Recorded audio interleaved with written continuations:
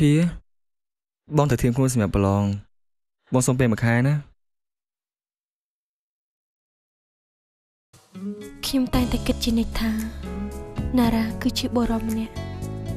ដែលផ្ដល់ឲ្យខ្ញុំនូវស្នាមញញឹមជារៀងរហូតប៉ុន្តែការរំពឹងទុករបស់ខ្ញុំត្រូវរលាយអស់ក្នុងមួយពព្រិចភ្នែកគឺនៅពេលមួយ